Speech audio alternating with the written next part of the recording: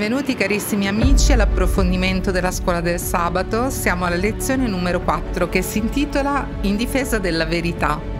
Abbiamo già avuto tre incontri eh, con i nostri gratitissimi amici a cui do un caloroso benvenuto che sono il pastore Giovanni Caccamo. Benvenuto Grazie, Giovanni. Grazie Maria Rosa. Eh, che io chiamo Gianni perché ci conosciamo da tanto e abbrevio così per amicizia. E abbiamo anche Daniele Amodeo. Benvenuto Daniele. Ciao Maria Rosa, ben trovata. Benvenuto. Allora, eh, poi ci, anche questa volta ci direte qualcosa di voi giusto per presentarvi, ma voglio veramente dare un benvenuto caloroso a voi che ci seguite. Non è una frase scontata, siamo insieme nell'approfondimento di questo trimestre sul tema del gran conflitto, che non è un tema semplice, però è un tema interessante e fondamentale anche per capire un po' quello che sta succedendo nel mondo in generale e nelle nostre vite in particolare. Allora, vogliamo ricordare un po' a chi ci segue, che magari non tutti vi conoscono, che cosa fate nella vita, come mai siete qui? allora, comincia tu Daniele, sì, dai, io, sto guardando te. Io mh, lavoro per la Chiesa Avventista nell'ambito della comunicazione per alcuni enti eh, della diaconia avventista in modo particolare eh, ecco, è un, eh, per me un piacere, un onore, una benedizione eh, dare il mio contributo per l'opera, è una cosa che ho sempre voluto fare e mm, ringrazio il Signore, ecco perché eh, posso farla di fatti, sì. Poi sono sposato con Alessia da, eh, da 5 anni e questa è un po', ecco, eh, la mia vita, ecco. Grazie Daniele, poi nelle domande che a volte ti farò certo. magari potremmo far venire fuori alcuni aspetti certo. anche del, degli ambiti in cui lavori, che sono degli ambiti veramente interessanti e importanti. E poi abbiamo Gianni, che eh, ho già detto che tu sei pastore, ma raccontaci qualcosa di più, dove sei pastore, quali sono allora, le comunità di cui ti occupi? Sono pastore da dieci anni a Bologna, da cinque anni a Forlì e da tre anni a Modena. E sono stato all'Unione prima di questa esperienza come segretario, precedentemente sono stato pastore a Iesi Ancona e precedentemente ancora sono stato a Bologna per altri otto anni, quindi questo è il diciottesimo Ormai sei diventato romagnolo. Emiliano Romagnolo Come... possiamo dire, sì. Eh, sì scusa Emiliano, certo, Emiliano, certo, poi io sono di Ma anche Romagnolo, visto, che, origine, visto sì. che, sono cresciuto in Romagna e seguo una Tra comunità, Forlì quella di Forlì, quindi Emiliano sì. Romagnolo. E poi ho fatto anche un'esperienza di due anni nel, all'inizio del mio ministero nel distretto di Siracusa, Lentini, Carlentini e Augusta. Bene, dai, eh, così ci conosciamo anche di più, un po' anche chi ci segue può, mm, diciamo, fare amicizia, come si suol dire, facciamo amicizia tra di noi anche con chi ci segue. Allora, prima di cominciare vorrei pregare insieme per, mm, visto che parleremo di temi biblici, che il Signore ci possa guidare e anche eh, darci mm, una ispirazione speciale no, per trattare queste tematiche. Signore, grazie perché siamo qui, grazie anche per chi ci segue. Ti vogliamo chiedere, Signore, di benedire ognuno di noi. Benedici anche chi ci segue, dovunque si trovi, da casa, per strada, eh, mentre sta vedendo questi video, che la tua parola possa portare incoraggiamento e che anche le nostre parole possano essere guidate dallo Spirito Santo, Signore. Tutto questo te lo chiediamo nel nome di Gesù. Amen. Amen. Allora, noi mm, parliamo di queste tematiche legate al gran conflitto che, come il lezionario dice nella sua parte introduttiva, è la madre di tutte le guerre, no? È eh, quel momento in cui ehm, abbiamo visto le volte scorse, proprio anche grazie al vostro aiuto, eh, un, um, un, essere creato da Dio nel suo pieno libero arbitrio ha deciso di ingaggiare una guerra mh, mm, diffondendo e coinvolgendo in una ribellione una parte degli angeli e anche l'umanità che ha accettato no, di entrare in questa ribellione e da lì il male, la sofferenza, il peccato, come dice la Bibbia, è entrato nel mondo creando degli squilibri, degli squilibri che hanno portato appunto fino alla morte. La morte che prima non faceva parte della nostra esistenza, perché Dio ci ha creati perfetti, senza peccato. E Dio quando ha creato il mondo, la Bibbia è chiara, dice che tutto era molto buono, non c'era nulla diciamo che non andasse, però ecco che noi ci troviamo in questo momento in un mondo dove c'è uno spirito di ribellione, dove molte volte le persone o consapevolmente o inconsapevolmente cercano Dio altrove anche perché devo dire che nella storia, in questo grande conflitto, le comunità, a volte le religioni hanno dato un'idea di Dio sbagliata, sbagliata perché appunto non sempre ci siamo fatti guidare da Lui. E anche questo fa parte di una tecnica proprio. La Bibbia ci svela che l'avversario va intorno come un leone ruggente, cioè si accanisce non solo verso Dio, cercando di oscurare il suo carattere, di porre dei dubbi sul suo carattere amorevole e anche sulla sua esistenza, ma anche sulle persone che cercano di seguirlo, in generale su ogni essere vivente, perché è un attacco proprio a tutta l'umanità, a tutto ciò che Dio ha creato, persino alla natura. Ecco che Dio in questo grande conflitto abbiamo visto anche in qualche mm, momento nelle, negli incontri passati, risponde con una postura diversa, perché non risponde in un modo autoreferenziale dicendo guardate che non è così, io sono così. In realtà lui eh, risponde cercando di farsi conoscere cercando la nostra collaborazione in questo. Quindi opera nel mondo nel rispetto di ogni essere creato non imponendo la sua presenza, ma veramente in questo rispetto, in una libertà eh, religiosa, direi, no? userei questa espressione assoluta. Ed ecco che la lezione di questa settimana ci parla di persone che hanno capito questo nella storia, poi noi stiamo leggendo, come vedete anche qui l'immagine del libro Il Gran Conflitto di Ellen White, che per noi avventisti è un libro molto importante perché eh, per noi Ellen White è una voce profetica, per noi eh, questo libro contiene degli, diciamo, dei commenti anche storici eh, che tutte le persone possono ritrovare anche nei libri eh, o anche su internet, volete cercare. Questa settimana si parlerà di una chiesa eh, persegui- perseguitata nel periodo medievale, sono cose che si conoscono e ci parla anche di che cosa dice la Bibbia sul futuro, sul mm, periodo futuro del nostro mondo. Quindi è un libro molto interessante che vi, vi consiglio di mh, mm, poter avere. In particolare lo studio di questa settimana è concentrato di, mh, mm, per quanto riguarda questo libro sui capitoli da 4 a 6. Uh, quindi uh, vi mm, incoraggio veramente a procurarvi questo libro che può essere utile anche per um, capire meglio la tematica. Uh, la lezione, dicevo, si intitola In difesa della verità, però oggi ci sono così tante idee su Dio e anche idee che Dio non lo prendono in considerazione, no?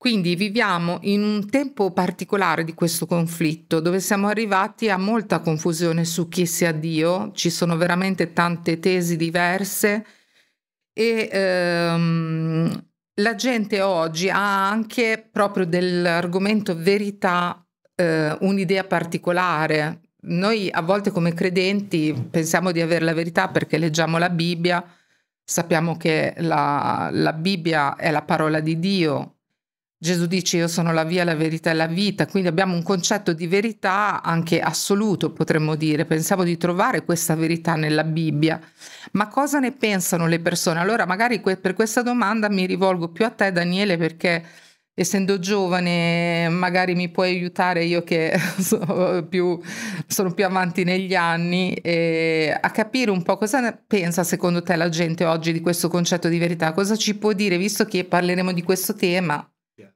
è giusto chiederci anche questo. Beh, il concetto di verità un po' l'hai, l'hai anticipato tu oggi, sicuramente è, è molto ambiguo, no? Eh, non esiste, eh, forse non è mai esistito un, un, come dire, una, un, un'unica verità no? eh, rispetto a diversi temi. E eh, la domanda che ci possiamo fare forse è cos'è vero di fatti, no? Gesù dice io sono la via, la verità e la vita, no? E, e su questo siamo d'accordo, no? Dovremmo essere d'accordo. Ma eh, allora lo siamo nel momento in cui eh, Gesù per noi è realmente esistito, no? Lo siamo nel momento in cui la Bibbia per noi è fondamento di verità. Siamo nel momento in cui Gesù per noi è veramente, è stato veramente il figlio di Dio, è veramente il figlio di Dio, no? Cioè sono delle, eh, come dire, eh, dei presupposti fondamentali, no?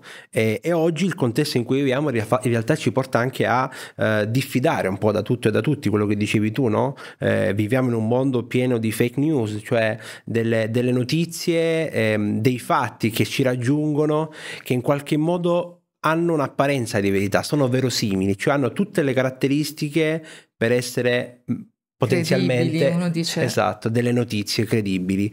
E insomma trovano sicuramente come dire eh, riescono a raggiungere quelle persone che magari si informano poco non hanno studiato o sono vicine a un determinato pensiero che magari quella falsa notizia eh, porta. Un altro aspetto su cui riflettere è sicuramente molto vicino ai nostri giorni è quello delle intelligenze artificiali, no? si parla tanto di intelligenze artificiali, questi sistemi che in qualche modo eh, sono stati programmati c'è chi dice no, per creare da zero, ma di fatti da zero non creano, non generano niente, ma di fatti attingono a tutto quello che è il sapere, il database di informazioni, di immagini, di, no, di contenuti che, che, esiste. Di fatti possono creare, possono generare qualcosa di diverso, ma appunto il presupposto è questo.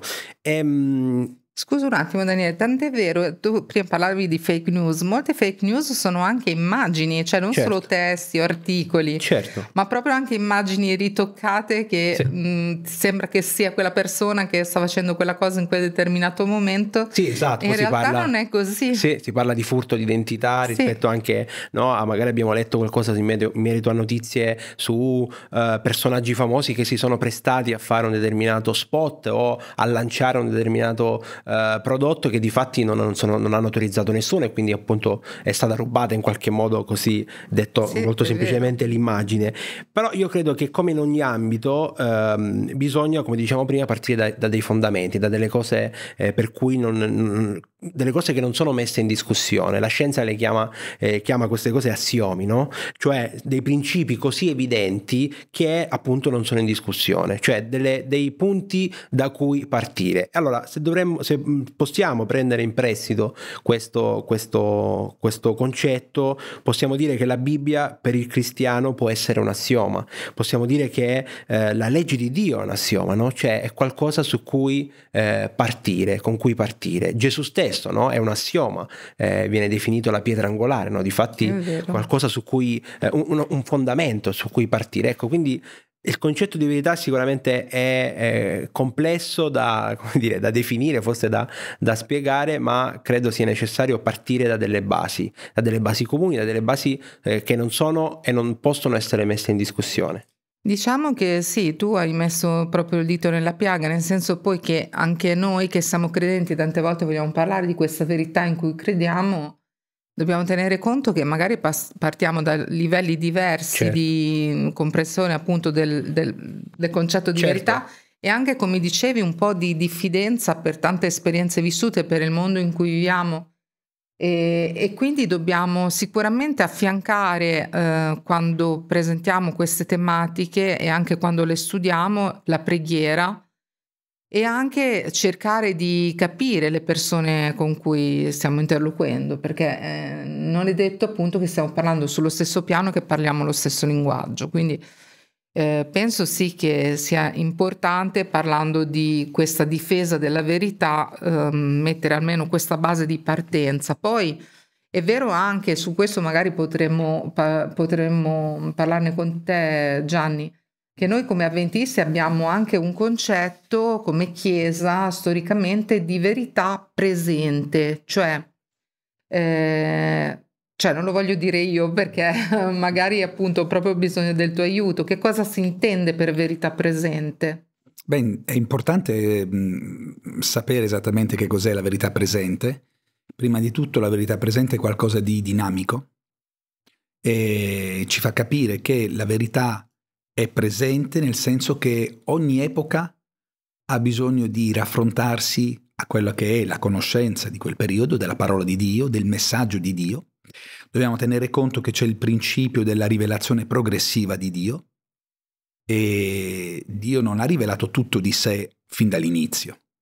Ha aspettato che i suoi figli, il suo popolo, potesse conoscere piano piano delle rivelazioni sempre nuove, perché ci sono stati dei tempi in cui il popolo era pronto e altri tempi in cui non lo era, per cui Dio Dio sa quali sono i momenti migliori per rivelare delle cose di sé, quindi la rivelazione progressiva di Dio, la rivelazione progressiva di un messaggio di verità da parte di Dio, che viene acquisito di volta in volta, per cui già quest'idea qui di rivelazione progressiva dà appunto eh, questa, questa mh, idea più ferma che la verità presente è una verità che la scopriamo, la viviamo e ci adattiamo via via che scopriamo delle cose nuove. Questo è stato stabilito fin dall'inizio dai nostri pionieri, Ellen White ne parlava, James White ne parlava, eh, sono rilevanti queste verità bibliche e via via che la nostra conoscenza aumenta, la nostra esperienza con Dio aumenta, possiamo immaginare quanto eh, dopo la riforma, per esempio, ne parleremo sicuramente, no? eh, certe verità si siano rivelate e tutto il mondo ha dovuto adattarsi a delle nuove situazioni rispetto alla Bibbia, rispetto alla conoscenza di Dio. Così anche per la Chiesa Adventista. La, la, verità presente è un modo, un atteggiamento che dobbiamo avere per stabilire che Dio si rivela e, come si è rivelato nel passato, si rivela oggi ed è importante stabilire sulla base biblica della rivelazione stessa di Dio quello che è utile per noi e lo facciamo sicuramente basandoci sempre sulla comprensione della scrittura con l'aiuto dello Spirito che via via noi andiamo avanti eh, rivela eh, delle verità che sono sempre più eh, approfondite. Questo è un aspetto. Um, un altro aspetto della, della, verità presente, tanto caro ai nostri pionieri, alla Chiesa Ventista, è quello del, di un testo base in realtà, non so se ce l'hai, mm, si trova in eh, seconda, seconda, Pietro, capitolo sì. 1, versetto 12, ok, dove appunto Pietro dice quanto segue, se lo vuoi leggere. Sì. Allora dice, eh, seconda Pietro 1,12, perciò avrò cura di ricordarvi continuamente queste cose, benché le conosciate e siate saldi nella verità che è presso di voi. Ecco, la verità che è presso di voi è interessante perché è la verità che voi avete acquisito ehm, stranamente le traduzioni che usiamo noi, quindi eh, la nuova riveduta oppure la riveduta o la nuova Diodati, eh, usano un pochettino quel concetto. E dico stranamente perché ci sono poi le traduzioni cattoliche, quelle un pochettino più tradizionali, non parlo delle ultime, ma è il Ricciotti, eh, eh Tintori, eh, Martini, dicono la verità presente, usano proprio questa espressione, no? Quindi anche questo fa capire come eh, il concetto di verità si basa, grazie anche all'azione dello spirito, su quello che comprendiamo e sulla necessità di applicarci a ciò che comprendiamo. Quello che comprendiamo oggi non è detto che sia uguale a quello che abbiamo compreso ieri, perché ci sono sicuramente delle nuove rivelazioni. Poi può darsi che nell'epoca in cui viviamo quasi tutto ci è stato rivelato, ma non credo tutto perché se verità come dice io sono la via, la verità, la vita, lo dice Cristo Gesù, se Dio è verità, non potremo mai dire di avere la verità assoluta, perché sarà una, una scoperta che impiegheremo eh, per l'eternità. Mi stavi facendo ricordare anche quando il profeta Daniele dice che la conoscenza ad un certo punto aumenterà, no? Quindi eh, anche Daniele vorrebbe capire delle cose e il Signore dice tu adesso stai tranquillo, riposati, poi eh, verrà un giorno in cui, allora anche nella Bibbia troviamo degli esempi di questo, ma poi eh, appunto questa settimana nel corso della lezione si prendono in esame le vite di diversi personaggi che hanno vissuto in epoca medievale, che hanno avuto il coraggio anche di resistere alla ricerca di questa verità.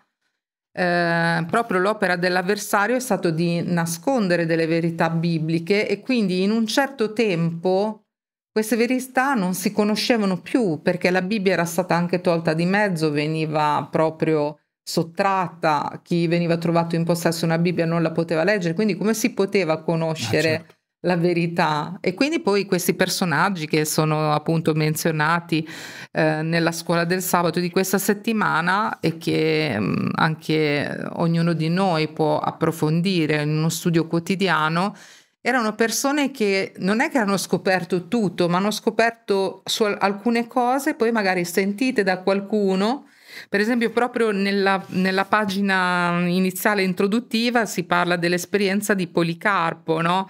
eh, vescovo di eh, Smirne, se non ricordo ma sì, di Smirne. Sì eh, che fu appunto martirizzato perché eh, quindi morì per eh, volere seguire la parola di Dio che lui conosceva.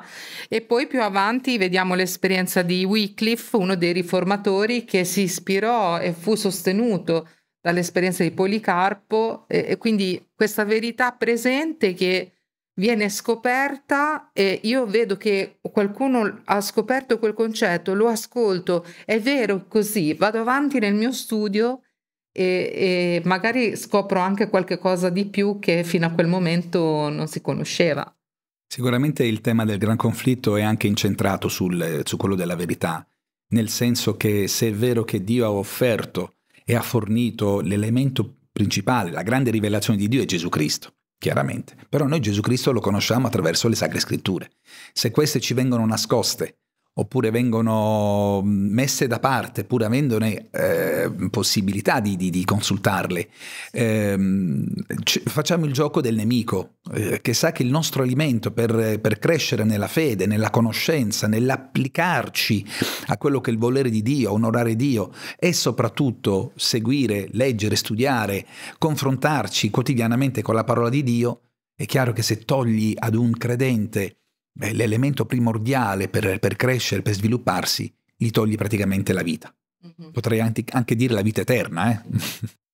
Quindi eh, il fatto di difendere la verità è un concetto vitale, è un qualche cosa più che un concetto, è questione anche di sopravvivenza proprio. E allora volevo mm, riallacciarmi a quello che tu avevi detto, soprattutto nella prima parte della tua risposta, perché avevo trovato alcune citazioni, per esempio proprio dei pionieri, quelli che hanno iniziato eh, a, a, fondare la Chiesa Adventista, che poi si, si, è costituita negli anni seguenti e man mano appunto scopriva delle verità che magari erano state un po' trascurate o comunque non comprese. Quindi, eh, per esempio, James White, White eh, marito di Ellen White, ma uno appunto dei pionieri della, della Chiesa Adventista, eh, scriveva proprio sul testo di Seconda Pietro 1,12 eh, dice che al tempo di Pietro esisteva una verità presente, cioè una verità adeguata a quello specifico periodo di tempo. È proprio quello che tu eh, dicevi prima. E poi Ellen White eh, dice... Mh, mm, allora, vediamo un po', ci sono diverse citazioni, però magari ne scelgo solo alcune perché non abbiamo tutto il tempo. Um, per esempio, c'è stato un periodo in cui il sabato non è stato un banco di prova, lei dice, per alcune persone, ma lo è stato per, uh, per un'altra generazione. Quindi la verità presente per i rappresentanti di questa generazione dove Ellen White, lei dice, è un banco di prova. Nel passato magari non è stato così.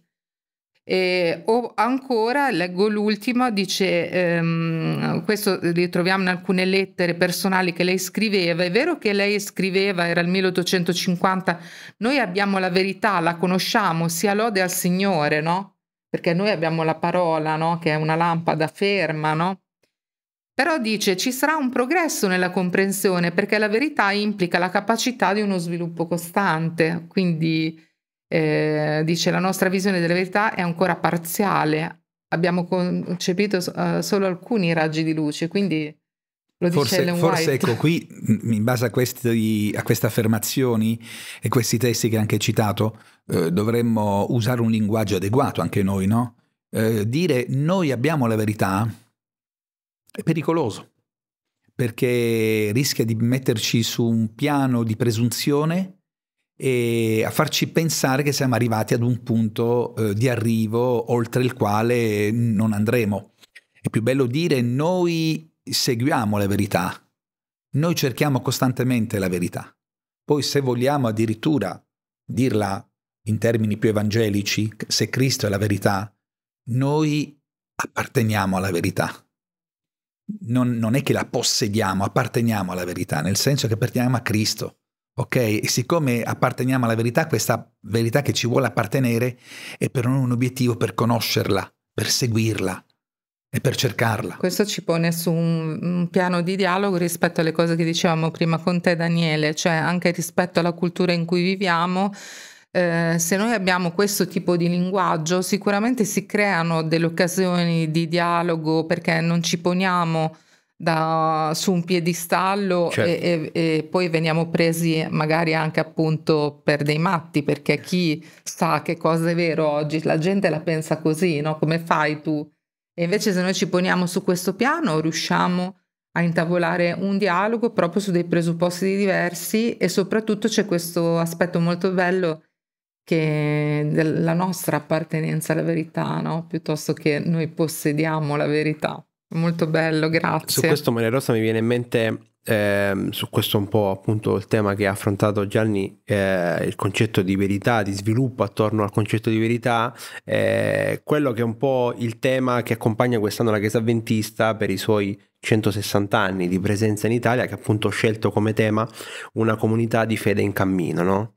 Quindi tenendo questo, questo senso di eh, sviluppo, di progresso, di ricerca continua del cammino. No? E mh, mm, ne approfitto giusto per dire che ci saranno diversi eventi durante eh, il 2024 per ricordare appunto questo importante compleanno e quindi invitiamo anche chi ci che ci sta seguendo a informarsi e a poter partecipare a qualcuno di questi sparsi un po' in tutta Italia. Trovate, eh, se posso Maria Rosa, dare i contatti Prego, sì, sul sì. sito chiesaventista.it slash 160 anni, quindi trovate il programma eh, in continuo diciamo, aggiornamento eh, con tutti gli eventi. Molto bello, grazie, è vero, è giusto anche sottolineare questo che nel motto dell'anniversario riprende questo concetto di un cammino e quindi di una verità presente. Questa settimana la, la, lezione inizia, diciamo, a toccare, perché da sempre il popolo di Dio, le persone che hanno cercato di rimanere fedeli al Signore, eh, sono state, mh, mm, diciamo, oggetto di una particolare attenzione negativa da parte dell'avversario. Poi, ripeto, ogni essere umano su, in questo mondo eh, soffre per la situazione messa in piedi eh, con questa intenzionalità di ribellione. Però i credenti in particolare, nella Bibbia, in tutto l'Antico Testamento, noi vediamo no? un accanimento particolare verso il popolo di Dio, e, ma eh, nell'Apocalisse e anche appunto in altri testi, ma anche dai libri di storia, noi vediamo questa persecuzione a volte proprio all'interno della stessa chiesa, perché da quando poi nel 300 mm, mm, circa la, il cristianesimo è diventato religione nell'impero e sono entrate idee diverse, poi si è iniziato a sviluppare un processo che ha portato eh, continuamente e progressivamente, non da subito, però a degli scontri, a degli scismi, a delle divisioni, ci sono state delle lotte di potere intrecciate per chi conosce la Bibbia. Noi sappiamo nella statua di Daniele 2, nel capitolo 2 del libro del profeta Daniele, questo susseguirsi di impegni fino uh, ai regni romano-barbarici che sono proprio in quel periodo, no? Um, quindi la formazione del Sacro Romano Impero, sono tutti anni toccati, diciamo, da, da, dalla scuola del sabato di questa settimana e da personaggi in difesa della verità, no? Appunto da, dalle persone che furono vittime delle, delle, prime persecuzioni c'è sempre stato qualcuno che ha cercato di eh, difendere la verità, di farla brillare e anche se queste persone hanno perso la vita, la parte di domenica li descrive come perseguitati ma trionfanti. Sembra assurdo, cioè è pazzia agli occhi magari di chi vede l'epilogo di alcune vite, no? In realtà è proprio così, il libro Gran Conflitto è veramente bello da leggere, vi incoraggio a leggere questi capitoli che ci parlano delle esperienze dei Valdesi, di Wycliffe, di Haas, di Jonas. Leggiamoli, noi non abbiamo tempo adesso di vedere tutto, no? Però vediamo appunto che eh, queste, queste, persone veramente eh, furono martiri, cioè testimoni. Il periodo eh, profetico no, eh, di cui la Bibbia parla è un periodo, la scuola del sabato ci parla di questi 1260 anni. Allora io qui chiedo a Gianni un piccolo aiuto. È ovvio che noi qua possiamo solo dare qualche indicazione, non abbiamo il tempo di fare degli studi approfonditi, però giusto per uh, dire che cosa sono questi 1260 anni di questo periodo uh, di persecuzione particolare. Particolare, sì. Intanto dobbiamo dire che i 1260 anni sono citati sia in Daniele sia in Apocalisse Possiamo dire che è il periodo storico profetico più citato fra, fra tutti, perché forse anche il più lungo sicuramente, quello che eh, merita un occhio di riguardo particolare.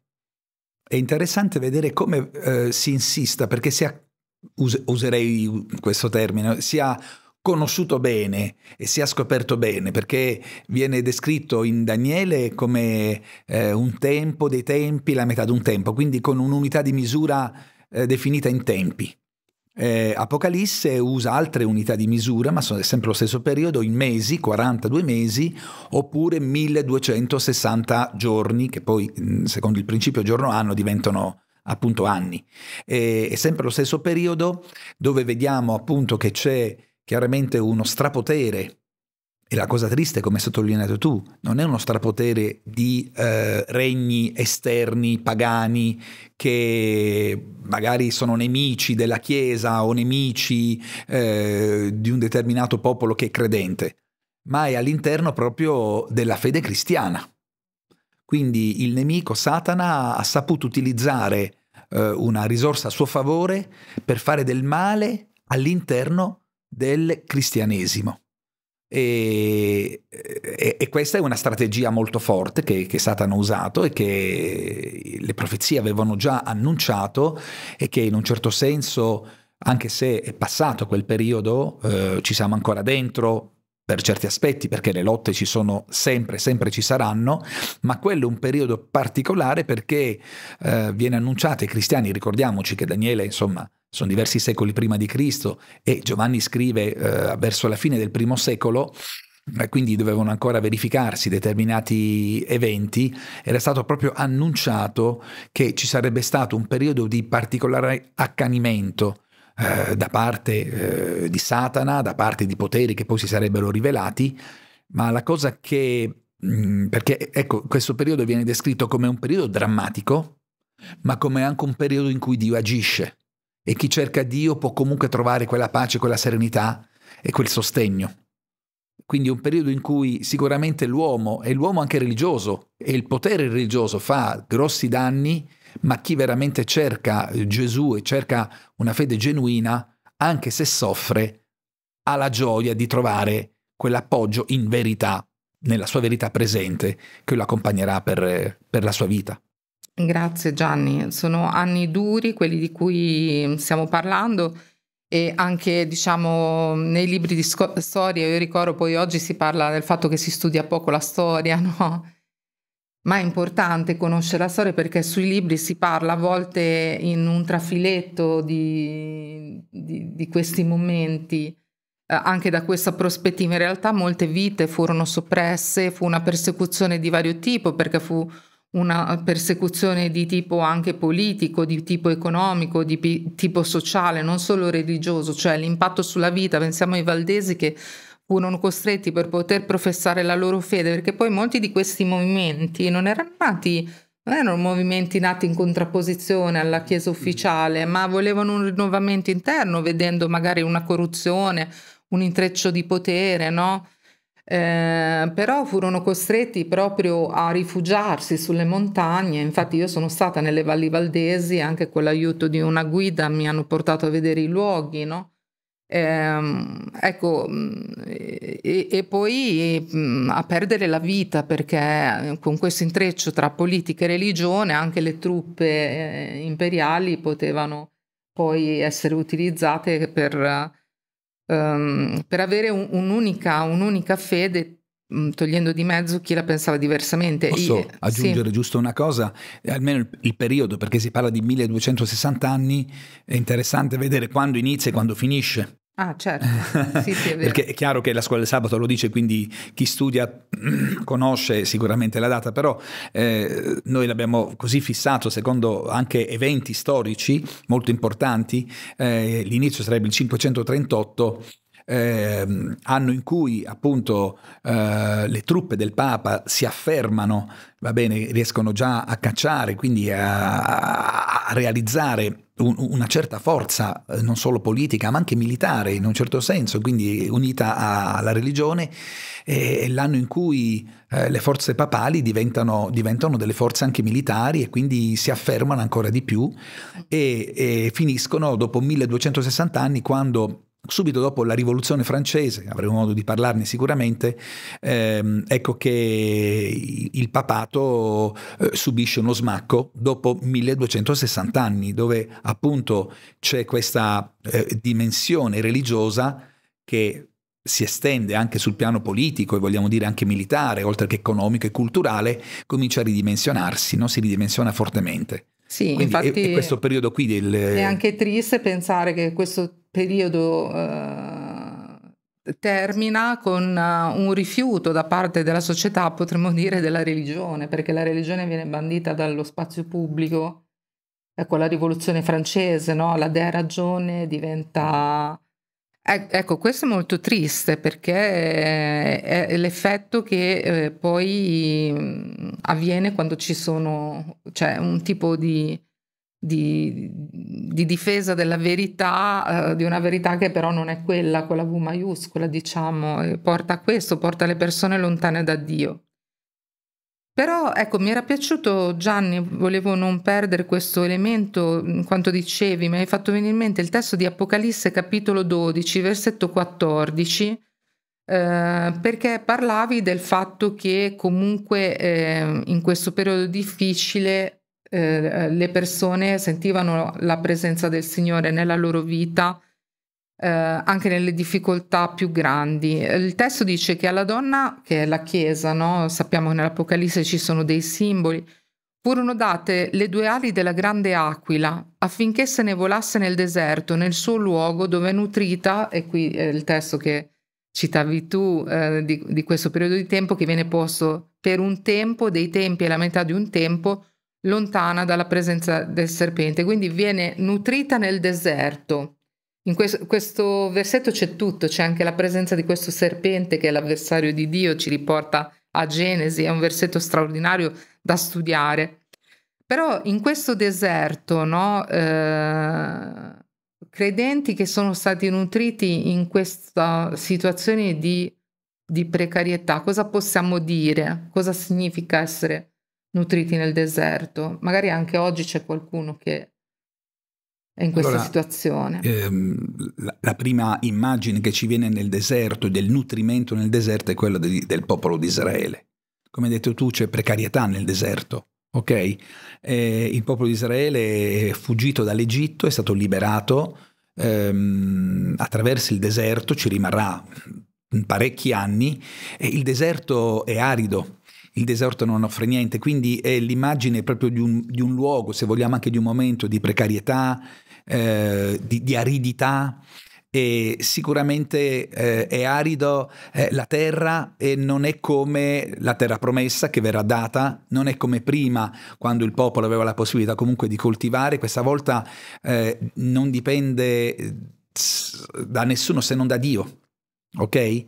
E Dio nel deserto, anche se eh, è provvisorio, il deserto è sempre provvisorio, apro la parentesi, lo è stato per Gesù, in vista della sua preparazione eh, prima del ministero, lo è stato per Mosè che ha attraversato il deserto prima di incontrare Dio, quindi il deserto simbolicamente rappresenta anche il, il vuoto intorno per prepararsi per qualcosa di importante. Il popolo di Israele nel deserto non ha nulla, non può guardare a terra perché il suolo è arido, ma può guardare solo verso l'alto incontra la infinita generosità di Dio.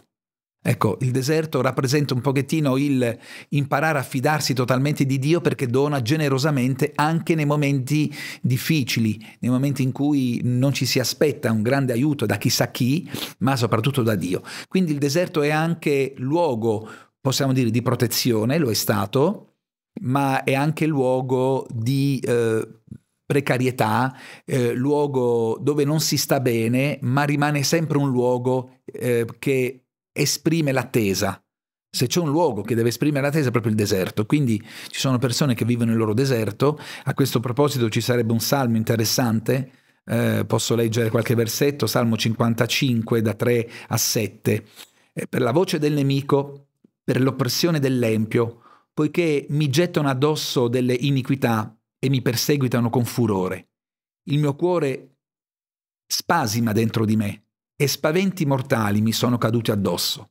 Paura e tremito m'hanno assalito e il terrore mi ha sopraffatto. Onde ho letto, oh, avessi io delle ali come la colomba, me ne volerei via e troverei riposo. Ecco, me ne fuggirei lontano. Andrei a dimorare nel deserto.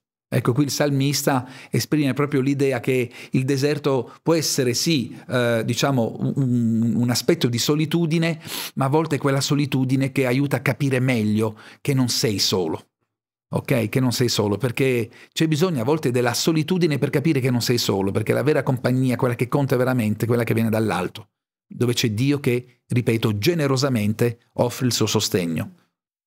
Grazie Gianni, siamo arrivati alla fine del nostro incontro, vorrei soltanto concludere anche con uh, un ultimo aspetto insieme con Daniele, ma um, quello che tu dicevi mi ha fatto pensare perché eh, le persecuzioni di cui stiamo parlando sono persecuzioni in un tempo storico che è quello di cui abbiamo parlato, no?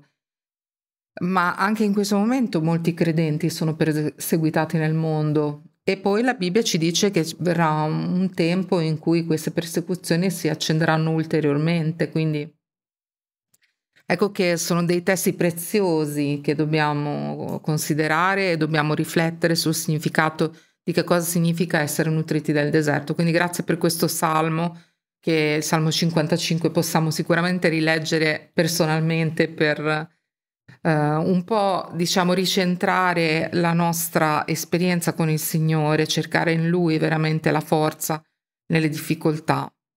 Daniele, un ultimo pensiero sul tema della corona della vita. Concludiamo con questa nota positiva che prendiamo dalla giornata di mercoledì in particolare, perché qui si parla eh, appunto di questa, di questa, corona e il testo di Apocalisse 2.10 perché parla appunto di eh, persecuzioni, no? eh, parla alla chiesa di Smirne, eh, il Signore Giovanni riporta questo non temere quello che avrai da soffrire, ecco il diavolo sta per cacciare alcuni di voi in prigione per mettervi alla prova. Uh, e, e, si conclude, dice, sii fedele fino alla morte, io ti darò la corona della vita. Quindi c'è questa idea sì, per la chiesa di Smirne eh, legata un po' anche agli usi della città, no? dove c'erano alcuni dei, tra cui Dionisio, dove i sacerdoti avevano questa corona. E, e qui viene ripreso questo elemento come corona della vita, no? Quindi che cosa, mm, che cos'è questa corona della vita? Che cosa mm, ti ha insegnato questo nella tua, nella tua esperienza anche personale? Eh, visto che tu hai fondato da poco una famiglia e anche perché questa corona nei personaggi di cui abbiamo letto ha, ha fatto la differenza nel modo di vivere. Per esempio, nella parte, a pagina 151, la parte finale, eh, uno di questi riformatori, Hus, mh, dà diciamo un'esortazione molto toccante che la tua mente sia occupata dalla gloria di Dio e non dal desiderio di benefici e possedimenti, quindi una corona nella mente. Sì. Guardati dall'adornare la tua casa più della tua anima e abbi la massima cura dell'edificio spirituale. Che cosa mm, ma, ehm, trovi nella tua esperienza su sì, questo? La mia famiglia, i miei genitori mi hanno sempre spinto no, a, a, cercare, a ricercare l'essenza delle cose, a comportarmi bene, un po' come tutti in realtà, no? aiutare gli altri quando, eh, aiutare il prossimo quando è possibile. Soprattutto mi hanno sempre spinto e invogliato eh, a ricercare Dio. Io eh, sono, ho sempre frequentato una comunità di fede, la Chiesa Adventista, e in qualche modo, ecco, quindi Dio è cresciuto dentro di me, ecco, se possiamo così definirlo. E, mh, però tutto questo, devo dire, non era così chiaro durante la mia adolescenza, no? Eh, non ero così sicuro, eh, non, ero, non, avevo tutte queste certezze e, mh, come dire, a un certo punto mi sono chiesto no, cosa, cosa, volessi fare, eh, se, se, se, come dire, se ero in un punto, arrivato in un punto in cui dovevo scegliere se devo seguire Dio o no. Ricordo esattamente questa scena in cui mio padre mi diceva, appunto, mi chiedeva cosa vuoi fare della tua vita, no? Eh, adesso sei grande e io, come dire, ti ho in qualche modo ti ho portato fin qui, ma adesso devi fare tu una scelta per la tua vita, no?